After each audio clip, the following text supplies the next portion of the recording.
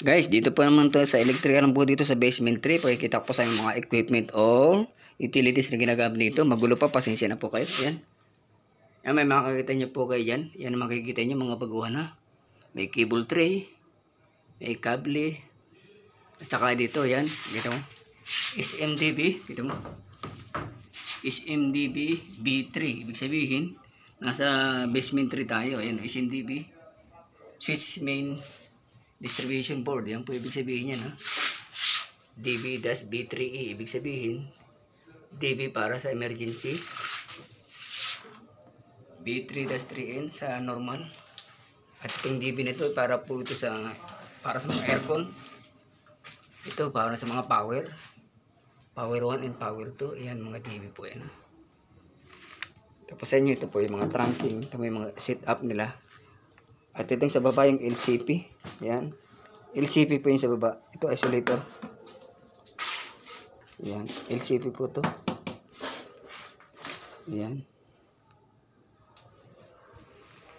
Yan, kita nyo. Ito po mga SMDB yan. Pagkikita po nyo. Diba? Yan. Voltmeter. Ako, sandali. Ah. Ito yung ammeter. Dalawang ammeter. Tatlong ammeter. RYB. Yan.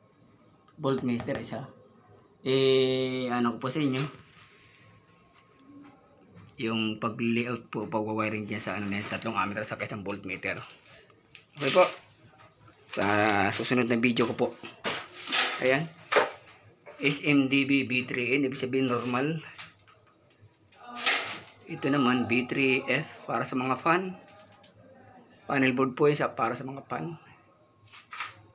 Ayan. Isa naman ko kaya.